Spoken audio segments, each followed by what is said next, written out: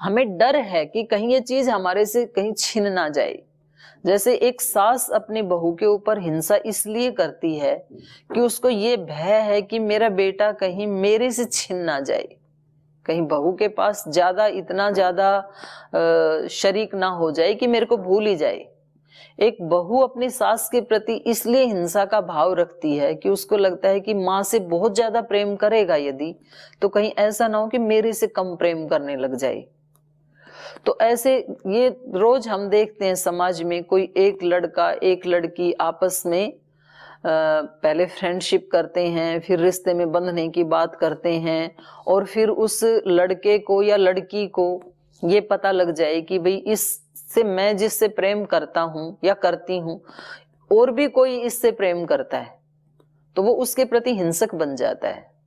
उसको ये भय है कि कहीं ये चीज़ मेरे से छिन जाए अगर मैं उसको मार दूँगा तो ये मेरी रहेगी ये चीज़। उसको यदि बाधा बीच से हटा दूँगा तो ये मेरे पास ही रहेगी।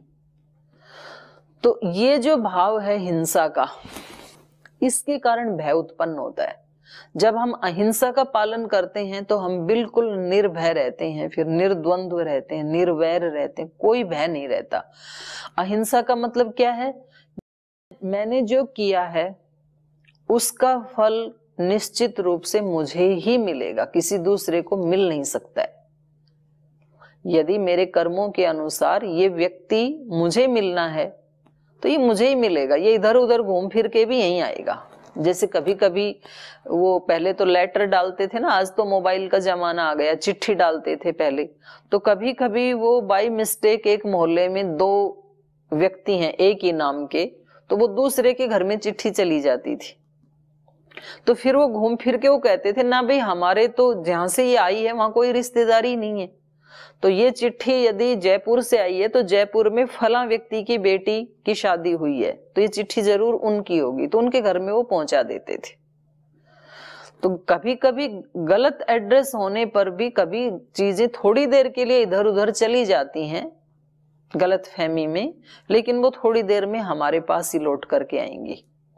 तो ये कर्म फल व्यवस्था पे जिस व्यक्ति को पूर्ण विश्वास है कि जो मुझे मिलना है भगवान की न्याय व्यवस्था से, उसे कोई छीन नहीं सकता है।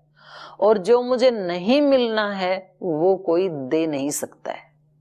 माता पिता कितनी भी कोशिश करें भाई बंधु सगे संबंधी कितनी भी कोशिश करें, लेकिन जो मिलना है वही मिलेगा। कर्म का फल ही मिलता है। हर माँ बाप अपने बच्चों को अच्छे से अच्छा ही देना चाहते हैं, लेकिन मिलता तो वही है जो उनको मिलना चाहिए था कर्म फल व्यवस्था के अनुसार। तो इसलिए ये जो साधु संत हैं, जो निर्भय रहते हैं हमेशा, वो बस इस विचार को ध्यान में रख करके निर्भय रहते हैं कि जो मेरा है वो मेरे को मिल ही जाएगा, चिंता क्यों करना? जो मेरा नहीं है वो मुझे कभी भी नहीं मिलेगा। तो क्यों भयभीत होना? तो इसलिए वेद में भय के ऊपर ना, और देखो इसका साइंस के साथ भी बहुत बड़ा संबंध है, स्थूल शरीर के साथ भी ना। भय उत्पन्न होते ही हमारे शरीर में यहाँ जो माइंड से जो स्राव निकलते हैं, वो इतने नेगेटिव स्राव निकलते हैं कि ये समझ लो एकदम से फिफ्टी ट्रिलियन सेल्स उससे प्रभावित हो जाते हैं। ये ऐसा ही है कि जैसे एक शहर में मानो कोई गृहिणी अपनी किचन में खाना बना रही थी, बहुत भजन गाते गाते बहुत अच्छे से अपना खाना बना रही थी वो। और बच्चे हैं वो अपने स्कूल में पढ़ रहे थे, बड़े बच्चे अपने कॉलेज, यूनिवर्सिटी में पढ़ रहे थे, किसान अपना खेत में काम कर रहा था, कुंभकार अपना घड़ा बना रहा था, वस्त्र सब अपने अपने काम में लगे थे और बड़ी शांति से, प्रसन्नता से लगे हुए थे। और उसी समय किसी ने आकर के कह दिया कि गाँव में तो आतंकवादी आ गई, या गाँव में किसी छोर के ऊपर आग लग गई। तो अब ये सब लोग क्या करेंगे? अपना काम छोड़ देंगे वहीं पर सब, और उससे बचने के लिए कोई उपाय सोचेंगे और वहाँ से भागना शुरू करेंगे, किसी सुरक्षित स्थान की खोज में। तो ऐसा हमारे शरीर में होता है। अभी इस समय हमारी आँखें अपना काम कर रही हैं, इसका काम है रूप को देखना, कान अपना काम कर रहे हैं, शब्द को सुनना हार्ट अपना काम कर रहा है ब्लड की सप्लाई करना, फेफड़े अपना काम कर रहे हैं ब्लड को प्योरीफाई करना किडनी लीवर सब अपने अपने काम में लगे हैं, शरीर का एक एक सेल अपने अपने काम में लगा हुआ इस समय। और जैसे ही दिमाग में कोई नेगेटिव बात आई, कोई भय की स्थिति आई तो एकदम से सूचना चली जाती है इनको। जितने भी हमारे शरीर के सेल्स हैं, अब डब्ल्यू एच ओ कहता है थर्टी सेवन ट्रिलियन सेल्स हैं। कुछ डॉक्टर्स कहते हैं फिफ्टी ट्रिलियन है। तो गिना तो नहीं है किसी ने, वो कोई एक पिंच निकालते हैं और उस एरिया में कितने सेल्स हैं, उसके अकॉर्डिंग पूरे शरीर में कितने होंगे तो ऐसे अंदाज़ा लगाते हैं। तो ये सारे के सारे सेल्स डिस्टर्ब हो जाते हैं भय की स्थिति उत्पन्न होते। पेट अपना काम करना छोड़ देगा। तो इसलिए भय उत्पन्न होते ही व्यक्ति को या तो लूज मोशन होगा, या तो वॉशरूम जाएगा। फिर भूख नहीं लगेगी, भय उत्पन्न होते ही, क्योंकि वो अपना जो पेन, ये आमाशय में जो रस निकलते हैं, स्राव निकलते हैं, जिसके कारण भूख लगती है, वो अपना काम करना छोड़ देते हैं। नींद नहीं आती है भय उत्पन्न होने पर, क्योंकि ब्रेन में जो मेलाटोनिन नाम का जो स्राव निकलता है वो बंद हो जाता है उस समय। उसने निकालना बंद कर दिया तो नींद भी नहीं आती भूख भी नहीं लगती है, प्रसन्नता नहीं रहती है, क्योंकि प्रसन्नता का हार्मोन है सीरोटोनिन तो वो तो निकाल रहा था और जैसे ही हमने कहा कि ये सब ठीक नहीं चल रहा इस घर में, भय लगता है तो वो उसको निकालना बंद कर देता है। और वेदों में तो पहले से ही प्रार्थना की है अभयम पश्चात अभयम पुरस्तात अभयम अधस्तात सब जगह से हमें अभय, शांतिकरण में एक मंत्र आता है। अभयम मित्राद, अभयम अमित्राद, अभयम ज्ञाताद, अभयम परोक्षात, अभयम नक्तम, अभयम दीवान। सर्वा आशा मम मित्रम भवंतु अभयम मित्राद, अपने मित्रों से हम अभय रहें। नहीं तो व्यक्ति मित्रों से भी भयभीत रहता है। कहीं ये मित्र छूट ना जाए, कहीं ये मित्र दगा ना कर दे, कभी ये विश्वासघात ना कर दे। तो वहाँ कहा, अभयम मित्राद, अभयम अमित्रात। अमित्र मतलब शत्रु। शत्रुओं से भी हम निर्भय रहें। शत्रुओं से भी भय रहता है, पता नहीं कब ये अपना दाव खेलेगा। तो हमेशा जिसकी जिसके साथ बनती नहीं है उसके प्रति व्यक्ति हमेशा भयभीत रहता है। घरों में देवरानी, जेठानी, सास, बहू, पति, पत्नी, बच्चे, जिसके साथ जिसकी नहीं मिलती। अभयम मित्राद, अभयम अमित्राद, अभयम ज्ञाताद। ज्ञाताद माने जिनको हम जानते हैं, उन सबसे हम अभय रहें। अभयम परोक्षात, और जिनको हम नहीं जानते हैं। कुछ ऐसी भी सूक्ष्म शक्तियाँ हैं, इस ब्रह्मांड में कार्य कर रही हैं, जिनको हम नहीं जानते हैं। तो उनसे भी हमें कोई भय उत्पन्न ना हो कि कहीं आज मैंने दिया नहीं जलाया तो देवी माँ कोई अनिष्ट तो नहीं कर देगी। ये भय रहता है व्यक्ति को। 95 परसेंट लोग मंदिर में या देवता की या देवी की पूजा इसलिए करते हैं कि उनके मन में भय है। कि यदि हमने ऐसा नहीं किया तो हमारे ऊपर प्रकोप हो जाएगा देवी का, देवता का, भगवान का। तो श्रद्धा के कारण भक्ति नहीं करते, भय के कारण भक्ति करते हैं। तो फिर उसका फल भी वो श्रद्धा वाला नहीं आता है। तो हमारे वेदों में ऐसी प्रार्थनाएँ की हैं अभयम मित्राद अभयम अमित्राद अभयम ज्ञाताद अभयम परोक्षात अभयम नक्तम अभयम दीवान। नक्तम माने रात्रि, दिवा मतलब दिन। रात में, दिन में, कभी एक क्षण के लिए भी हमारे मन में भय उत्पन्न ना हो। तो अब अगला प्रश्न ये उठता है, आपकी तरफ़ से मैं उठा लेती हूँ, कि जब ये भय इतनी बुरी चीज़ है तो ये बनाया क्यों भगवान ने?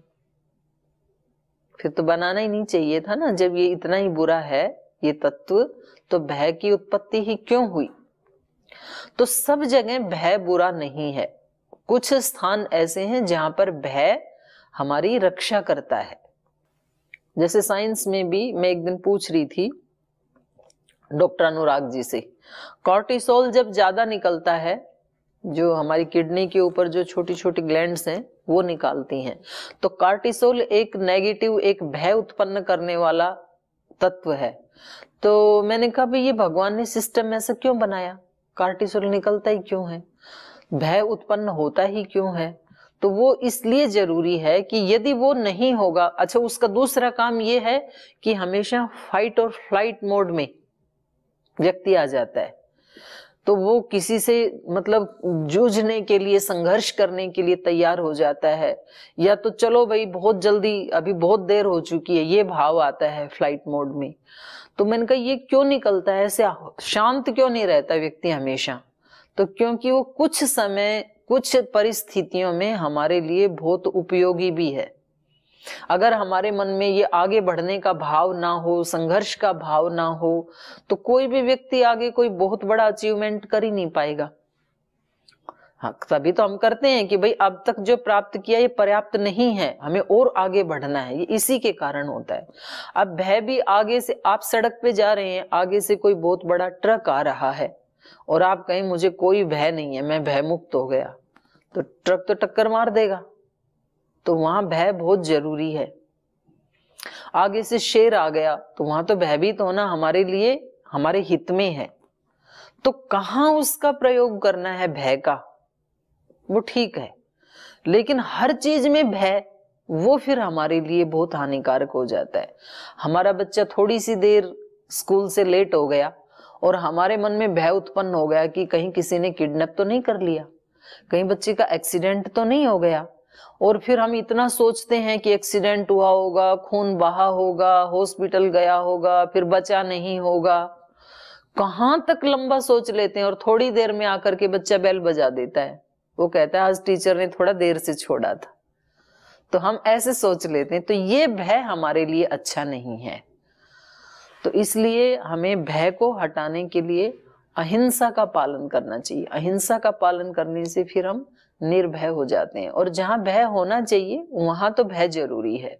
भगवान का भय, कर्म फल का भय कि यदि हम बुरा काम करेंगे तो इसके परिणाम में, मैंने एक दिन बताया था ना वितर्क बाधने प्रतिपक्ष भावनम। इसके बदले में अनंत दुख मिलेगा। अनंत अज्ञान मिलेगा, निम्न योनियों में चले जाएँगे, या लोक में देखें तो पुलिस पकड़ लेगी, अपयश हो जाएगा। तो ये भय तो अच्छा है तो ये हमें बुरे कामों से बचाता है। तो भय तत्व अपने आप में अच्छा या बुरा नहीं है, हम उसका कहाँ प्रयोग करना है और कहाँ नहीं करना है, उसके ऊपर ज़्यादा बल देना है। जी। जी माता जी माता श्री पहले आपको जन्मदिन की हार्दिक शुभकामनाएँ। धन्यवाद समस्त भारत की नहीं पूरे विश्व की महिला समिति की तरफ़ से बोलने का मौका मिला इसलिए सबकी तरफ़ बोल दिया जी जी। मेरा प्रश्न है माताश्री की हमारे जीवन में जैसे अभी पहली वाली बहन ने पूछा तो उससे मुझे एक प्रश्न आया कि हमारे जीवन में कुछ और लोग कुछ ऐसे लोग होते हैं जिनकी वजह से हमें निरंतर कष्ट मिलता रहता है मतलब चाहे उनकी वाणी की वजह से जैसे कि परिवारों में कल ही मैं देख रही थी कि उसके माता पिता खाते हैं शराब पीते हैं मतलब वो बच्चे से बर्दाश्त नहीं होता और ऐसी स्थिति हमारे घरों में भी होती जी। तो उस स्थिति में जब तक हमारी मजबूरी होती है तब तक तो हम रहते हैं। पर जब हमारे को कोई रास्ता मिल जाता है तो हम वहाँ से निकल जाते हैं और वहाँ से संबंध वहीं से हम काट देते हैं जानबूझ के काट देते हैं कि अब इससे हमें दुख मिल जाए और हम इसको संबंध को काट देते हैं। हम्म। कि इस तरह से बिल्कुल उनको अलग कर देना। मेरे मन में ये प्रश्न बहुत बार आया कि उनको अलग कर देना क्या सही है? कि उनको अपने जीवन से ही मतलब इतने हमने कष्ट देख लिए या उन लोगों से इतना दुख पा लिया कि उनको अपने जीवन से पूरी तरह से निकाल देना क्या सही है? जी जी। तो इसमें भी मेरा यही आंसर है कि हम जो देख रहे हैं उस आत्मा का व्यवहार और अपना व्यवहार, वो हमारी नॉलेज में केवल इस जन्म का है। अब पता नहीं, क्योंकि देखो ये इतना गहन विषय है, गूढ़ विषय है, कि इसमें एक तरफा कुछ भी नहीं कहा जा सकता। स्वयं व्यास भाष्य में ये पंक्ति लिखी हुई है, व्यास में, व्यास ऋषि ने कहा। कि ये कर्मों की जो गति है, ये बहुत गहन है और ये बहुत बड़े योगियों के द्वारा भी बहुत कठिनाई से जानने योग्य है। तो अब इसमें एक पॉसिबिलिटी है जिससे हमें दुख मिला। हो सकता है हमने किसी जन्म में उस व्यक्ति का कुछ बुरा किया हो। तो इस जन्म में वो व्यक्ति हमारे परिवार में आकर के हमें दुख दे रहा है। तो हम एक ये सोच सकते हैं कि भाई पीछे का क्लियर हो रहा है, किसी का ऋण था और ये उतर रहा है। और जिस दिन ऋण उतर जाता है, उस दिन या तो व्यक्ति स्वयं ही छोड़ के चला जाता है, या तो हम उससे अलग हो जाते हैं। लेकिन अलग होने के बाद अब उस आत्मा के प्रति थोड़ा भी, लेश मात्र भी अपने मन में द्वेष का भाव नहीं होना चाहिए। नहीं तो फिर भी एक नया कार्मिक अकाउंट तैयार हो रहा है और अगले जन्म में फिर मिलेगा वो व्यक्ति, फिर चुकाना पड़ेगा। ये एक एक स्थिति की पॉसिबिलिटी है। दूसरी ये है कि उस आत्मा से हमारा पीछे का कोई लेन देन नहीं था और हमने कोई दोष नहीं किया था। हम पहले भी बिल्कुल ठीक थे, इस जन्म में भी बिल्कुल ठीक ही हैं। उस व्यक्ति ने नए सिरे से हमारे ऊपर अत्याचार करके, हमें दुख दे करके, उसने अपना एक नया भाग्य बनाया है, बुरे वाला भाग्य बनाया है उसने। तो भी हम उसमें निश्चिंत रहें कि भाई मेरे को तो मेरा किया हुआ मिलेगा। देखो, जब कोई व्यक्ति हमारे को डांटता है या हमारे को गाली देता है, या हमेशा हमारे उसमें बाधा डालता है खुशी में तो वो व्यक्ति भी खुश नहीं होता है। वो खुद हमारे से कई गुना ज़्यादा दुखी होता है। लेकिन क्योंकि उसमें बेचारे में इतनी एनर्जी नहीं, वो व्यक्ति वास्तव में मन से, प्राण से और विचार से और भावना से रोगी है, अपंग है, वो पंगु है। वो अच्छा सोच नहीं सकता है अच्छा व्यवहार कर नहीं सकता एनर्जी नहीं है ना उसमें इतनी। जैसे छोटा बच्चा चाहते हुए भी एक क्विंटल वज़न, पचास किलो वज़न उठा नहीं सकता, उसके पास एनर्जी नहीं है बेचारे के पास। तो उसके सिर पे कोई लादना चाहे तो ये समझदारी नहीं मानी जाएगी। तो जिस व्यक्ति में ये एनर्जी नहीं है, उससे हम ये अपेक्षा करें कि भाई ये व्यक्ति मेरे घर में मेरा संबंधी है, मेरा माता है, पिता है, सास है, ससुर है, पति है, पत्नी है, कोई भी है, बेटा, बेटी है, इसको मेरे साथ ऐसा व्यवहार करना चाहिए। देखो, दूसरों के संबंधी कितना अच्छा व्यवहार करते हैं। तो ये हमारा अपेक्षा करना उचित नहीं है। हमें उस समय भी कोशिश करनी चाहिए। आप तो स्वयं एक इतने आदर्श वंश से बिलोंग करती हैं। स्वामी श्रद्धानंद जी का पत्नी के ऊपर पहले कितना अत्याचार रहा? आपके अंदर तो वो परमाणु है, साक्षात तो हम तो आपको ही प्रणाम करते हैं माता जी अब उस देवी ने अपने तप से, अपने पुरुषार्थ से उस व्यक्ति का जीवन ही बदल दिया, जो इस ट्रैक के ऊपर चल रहा था। वो बिल्कुल उल्टा ही हो गया। तो वो एक कितने आदर्श पुरुष केवल अपने लिए नहीं, बल्कि जमाने के लिए एक आदर्श पुरुष बन गए। तो कहीं ना कहीं ऐसी सिचुएशन जब घरों में बनती है तो हमारी शक्ति भी कहीं ना कहीं वीक होती है। तो अब हमारे सामने दो ऑप्शन हैं। या तो हम अपनी शक्ति को इतना बढ़ाएँ, भगवान से डिवाइन एनर्जी लें और उसको भी व्यक्ति को चेंज करें। एक ऑप्शन या तो फिर हमारे पास इतनी एनर्जी नहीं है तो जूझने की आवश्यकता नहीं है, फिर भाई आप अपने ढंग से रहो, हम अपने ढंग से प्रयास करेंगे। ये भी ठीक है। क्योंकि हमारे पास जब इतनी शक्ति नहीं है, अब एक बच्चा कितनी भी कोशिश करे एक शिला को उठाने की, अब वो दस साल तक भी ऐसे हाथ लगा के खड़ा रहेगा तो भी शिला को उठा नहीं पाएगा। तो समझदारी इसमें है कि उससे जितना वज़न उठता है, एक कंकर उठता है तो अपना कंकर उठा के आगे बढ़े वो। तो किसी भी सिचुएशन में हमें एक सॉल्यूशन निकालना है और वो एकांत में जो व्यक्ति रोज बैठता है संध्या उपासना करता है। उस व्यक्ति को ज़रूर अंदर से ही एक आवाज़ मिल जाती है कि अब तू ऐसा कर। और जब वैसा हो गया तो फिर अब संबंध जब कट हो गया तो अब उसके बारे में कुछ भी नहीं सोचना। अब उनका रास्ता एक अलग है हमारा रास्ता एक अलग है। तो ऐसे हमें उससे बाहर निकल जाना चाहिए। ऐसी मतलब परिस्थितियाँ बहुत सारे लोगों के साथ भी आती हैं। जी। भी अपने चारों तरफ़ देखते हैं जी। ये अपने आप को बचा लेना जैसे आपने बोला ना आत्म कल्याण हाँ। अपने आप को बचा लेना। अपने आप को बचा लेना और कहीं ऐसी स्थिति है मान लो सबसे प्रारंभ में जो बहन पूछ रही थी कि जिस स्थिति ऐसी है कि हम उनसे अलग नहीं रह सकते हैं उनके बीच में ही रहना है तो फिर अपने को थोड़ा सा अपनी शक्ति को बढ़ाना पड़ेगा फिर। अगर हमारी भी शक्ति बढ़ी नहीं है और उसकी तो है ही निम्न कोटि की तो फिर नरक के सिवाय और कोई परिणाम नहीं आएगा। फिर तो दुख ही परिणाम आएगा दोनों आत्माएँ दुख ही भोगेंगी। तो एक को तो कम से कम थोड़ा सा ऊँचा उठना ही पड़ेगा। धन्यवाद प्रणाम जी। जी जैसे उस दिन पढ़ा था प्रेम भी है करुणा भी है भक्ति भी है थोड़ा थोड़ा सा है है दान भी है।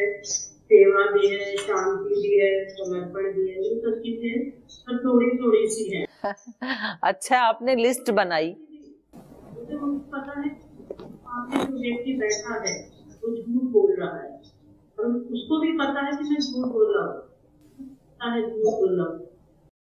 अभी दो दिन तक आपने जो चेंज किया है ऑन हो सोचती हूँ जाती हूँ। तो क्या मुझे उस समय मतलब मौन हो जाना चाहिए? सच बताना चाहिए। नहीं अब कंट्रोल करूँ मैं कि हम क्योंकि मैंने तो ये सोचा कि अच्छा मौन हो जाओ। तो क्रोध खुद ही कंट्रोल हो जाएगा। ठीक है उस व्यक्ति को पता ही है कि वो झूठ बोल रहा है। मुझे भी पता है। पर तब क्रोध में बहुत मतलब जल्दी कंट्रोल नहीं होता, फिर मुझे लगता है मौन इसका सबसे अच्छा सोल्यूशन है। हाँ लेकिन मौन वाणी का किया है तो फिर तात्कालिक सॉल्यूशन है, क्योंकि अंदर अंदर तो वो चीज़ चली रही होती है कि है तो झूठा ही है, पर हमने अब मतलब इससे बचने के लिए हमने मौन रख लिया।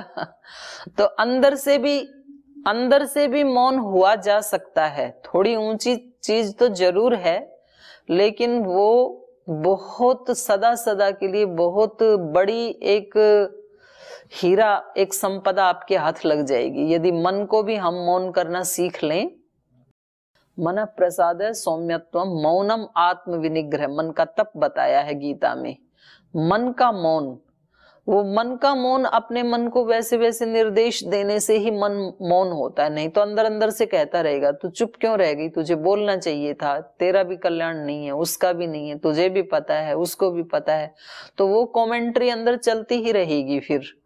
तो उससे भी फिर अपना नुकसान होता है। तो ये बस इतना ही है कि कहीं ऐसी सिचुएशन है, आप बता सकते हैं और अगला व्यक्ति भी सुनने को यदि तैयार है तो आप बता दो कि देखो, आप गलत कर रहे हैं और ये झूठ का फल आपको ही मिलने वाला है, किसी दूसरे को नहीं। तो बड़ा उस समय आपको कष्ट होगा। तो इसलिए अब छोटी छोटी उपलब्धियों के लिए आप झूठ ना बोलें तो आपके लिए ज़्यादा हितकारी है। ऐसा एक बार आपने बता दिया, फिर भी यदि नहीं सुन रहा है तो फिर तो भगवान जी की तरह उसी के ऊपर आत्मा पे छोड़ के आप अपने आप को बचा लो। क्योंकि भगवान हम सब के बीच में रहते हैं और भगवान की आँखों से तो कोई बच नहीं सकता है। तो भगवान जी दुखी नहीं होते हमारी गलतियों से। भगवान जी नहीं चाहते कि कोई भी आत्मा त्रुटि करे असत्य बोले पाप करे वो नहीं चाहते। लेकिन फिर भी कोई करते हैं तो वो अपनी भगवत्ता को प्रभावित नहीं होने देते हैं।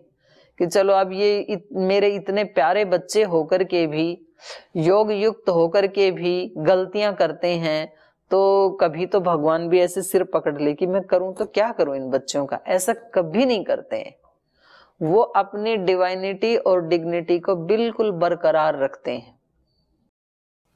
तो इसलिए वो दंड भी देते हैं ना तो वो भी उनका क्रूरता वाला रूप नहीं है, कल्याण वाला ही रूप है। दंड देकर के भी वो उस आत्मा को अच्छे रास्ते पे लाना चाहते हैं। तो जहाँ तक देखो, अपने को ये सोचना पड़ेगा कि किसी भी व्यक्ति को या किसी भी परिस्थिति को ठीक करने के लिए मेरे पास सामर्थ्य है या नहीं है? है तो ज़रूर हमें हेल्प करनी चाहिए और नहीं है तो बिल्कुल उसमें नहीं कूदना चाहिए, नहीं तो अपना भी नुकसान होता है फिर। तो फिर वहाँ तो वाणी का भी मौन करना चाहिए और कोशिश करनी चाहिए मन से भी मौन करें। ठीक है भाई, तेरी मर्ज़ी जैसे भी। पर मैंने ये ज़रूर वाणी से मौन रहना बहुत सारी चीज़ों में सीख लिया हाँ। बिल्कुल। ये तो है ही। अपने जीवन में इतना परिवर्तन किया है कि मीन्स हम मतलब कई ऐसी परिस्थितियाँ आ जाती हैं कि उसमें सबसे अच्छा लगता है कि मौन ही इसका सोल्यूशन है। हाँ। उसके बाद स्थितियाँ ठीक हो जाएगी। हाँ बिल्कुल। स्थूल मौन में भी बहुत शक्ति है तो इसलिए तो कहावत है ना एक चुप सो सुख। तो सारी तो परेशानियाँ बोलने से ही शुरू होती हैं और बोलने से सुलझ भी जाती हैं तो जब ऐसी स्थिति दिखे कि भाई यहाँ बोलने से कोई फ़ायदा नहीं होने वाला है तो फिर व्यक्ति को मौन ही रहना चाहिए। और दीदी एक और है, जैसे रामायण में तो ये कहा गया है कि भय बिन प्रीत अगर मीन्स, अगर हमको किसी से प्यार है, मीन्स सपोज़ करिए हम आपकी रिस्पेक्ट करते हैं, सब कुछ है, पर हमें आपसे भय भी है दोनों चीज़ें हैं। तो ये दोनों कैसे मीन्स है कि कहते हैं कि भय नहीं है तो प्रीत नहीं है और प्रीत नहीं है तो भय नहीं है। तो जैसे मुझे लगता है कि आपके साथ जो हमारा कनेक्शन है, ये भय वाला भी है। नहीं, भगवान से भी जो कहा ना, भय बिन प्रीति ना होई, वो बिल्कुल ठीक है। भय हमें ये है कि यदि भगवान के साथ प्रीति नहीं करेंगे और संसार में उलझे रहेंगे तो इसका फल हमारे लिए दुखदाई होगा। वो भय हमें भगवान से नहीं है। भगवान से अपोजिट जो संसार है और उससे जो फल मिलेगा उससे भय है। उस भय के कारण हम भगवान से प्रीति करते हैं कि भाई भगवान से प्रीति कर लेंगे तो बच जाएँगे। तो इस इस अर्थ में वहाँ पर कहा है भय बिना प्रीति ना होई। है तो आज का तो हो गया समय। तो कोई बात नहीं। आप लोगों के प्रश्न और शंका समाधान हो, ये तो इस पाठ का मेन उद्देश्य है। क्योंकि ये सूत्रों का अर्थ तो मैंने YouTube पे भी डाल रखा है, योग दर्शन के सभी सूत्रों का एक तरफ़ से किसी को पढ़ना हो तो घर बैठे भी पढ़ सकते हैं। आपको लिंक दे देंगे YouTube का। पर इस क्लास में आपके जो कोई प्रश्न हो डिस्कशन हो तो वो फिर चीज़ें और अच्छे से याद रहती हैं। तो ये भी पाठ का ये एक हिस्सा है। तो आज का समय प्रश्नोत्तर में ही हमारा संपूर्ण हुआ। उस दिन मैंने एक होमवर्क दिया था आपको कि आप अच्छी अच्छी भावनाएँ लिख लीजिए। बहन मेधा जी ने तो मेरे को लिख के भेजी थी चालीस पचास भावनाएँ। आपने भी शायद अपने डायरी में लिखी होंगी। आप एक डायरी ज़रूर लगा करके रखिए इस पाठ के लिए ना। और उसका नाम आप वैदिक उपायों से तनाव मुक्ति ऐसे मत रखना। वो तो हमने यूनिवर्सिटी की दृष्टि से ऐसा नाम हमें रखना पड़ता है। आप उस डायरी का नाम रखो, शाश्वत सुख की खोज। और उस डायरी में रोज़ाना जो जो अच्छी अच्छी बातें आप साथ साथ भी लिखते रहते हैं, और पाठ के बाद भी आपके ध्यान में कोई बात आई कि ये बात तो बहुत अच्छी कही थी, तुरंत अपनी डायरी में नोट कर लिया करें। और उसको फिर एक बार पढ़ लेंगे तो वो संस्कार सुदृढ़ हो जाते हैं डबल ट्रिपल हो जाते हैं और हमारे सबकॉन्शियस माइंड में चले जाते हैं। जो मेधा जी आज एक बात पूछ रही थी ना कि सबकॉन्शियस माइंड में कैसे घुसाई तो उसका एक उपाय ये भी है हैमरिंग करना। बार बार मन को एक बात बताना तो फिर वो सबकॉन्शियस माइंड में चली जाती है। जैसे वो रस्सी का बोलते हैं ना, रसरी आवत जात सिल पर परत निशान। रस्सी तो बहुत कोमल है, शिला तो बहुत कठोर है लेकिन कंटिन्यू जब वो चलती रहती है तो हमने भी देखा बचपन में जहाँ कुएँ से पानी निकालते थे तो वो जो पत्थर लगा है, वो उस रस्सी से घिस जाता था। तो ऐसे बार बार अपने आप को पॉजिटिव अफर्मेशंस देने से भी वो चीज़ें हमारे सबकॉन्शियस माइंड में चली जाती हैं। तो आप सबके साथ ये सात्विक चर्चा करके बहुत अच्छा लगा। आप सभी का बहुत बहुत धन्यवाद। फिर मिलेंगे आपसे तीन दिन के बाद। प्रणाम। ओ